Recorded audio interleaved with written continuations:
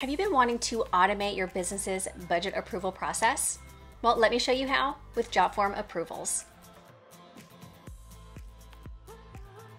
Hey JotFormers, welcome back. I'm Kimberly, and as you can see, I'm currently in the desktop version of my dashboard. And like I mentioned, if you're ready to automate the entire budget approval process, JotForm Approvals has you covered. So I'm gonna go ahead and get started. As you can see, we're currently in my form. So if I head up to the top left-hand corner, I'm gonna jump over to my approvals, and we're gonna create approval, and we can either start from scratch, use a one-step approval, or we can utilize a template. So if you already have a form created and started, you can always start from scratch, but utilizing a template, I need to do a quick search for budget.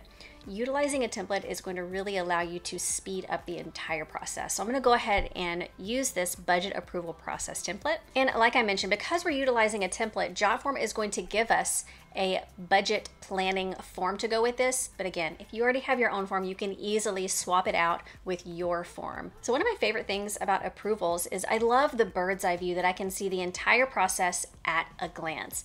So let's look at this form. We can take a look at the budget planning. So we have department, it looks like we have some different departments here for us, and then we have a certain time period, one through four.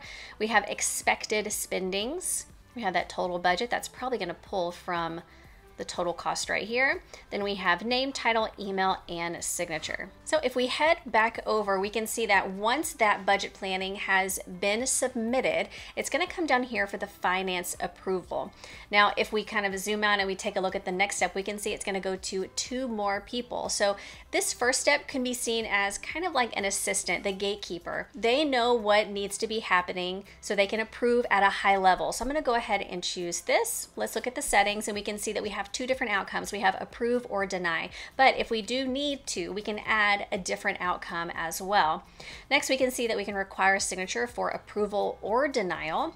And then we can also see the signers or the approvers here. Now, another thing we can do is from the form fields, if you have a form field of a manager per se, we can add that in here as well.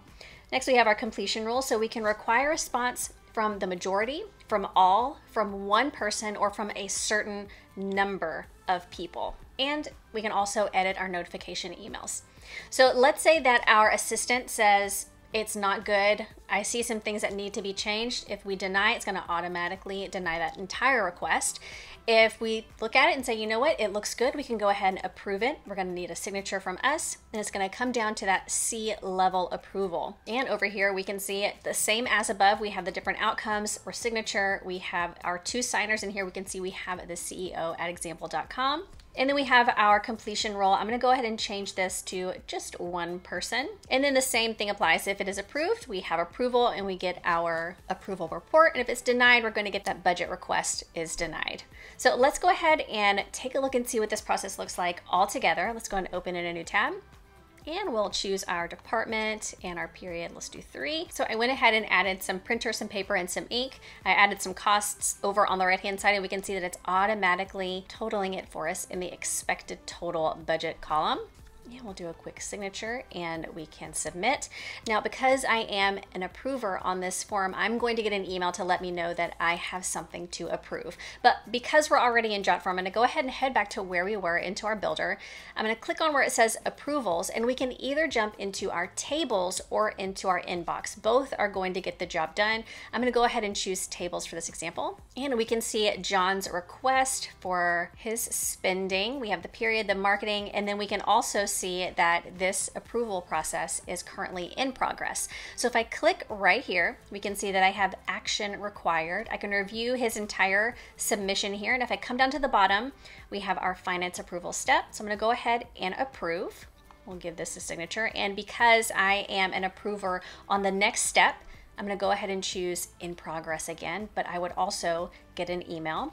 If I come down here, we have the C level approval step. We can approve this and a signature and sign, and we can see that we are officially approved. Again, if we click on it, we can come down here, we can see everything going through all the way down to that approval report email being sent. And it really is as simple as that. If you have any questions about how to utilize JotForm approvals to automate your budget approval process, let us know down below in the comments. If you like this video and you got some value, hit that like button and don't forget to subscribe and turn on the bell so you get notification every time we put a new video.